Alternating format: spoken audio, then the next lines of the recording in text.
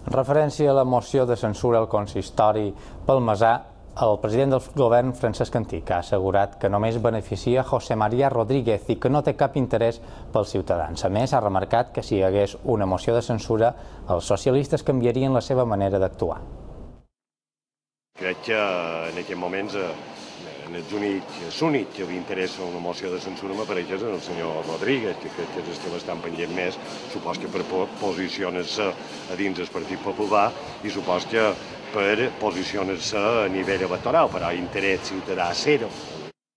Si passàs tindria impacte, eh, està clar que tindria impacte, i el Partit Socialista eh,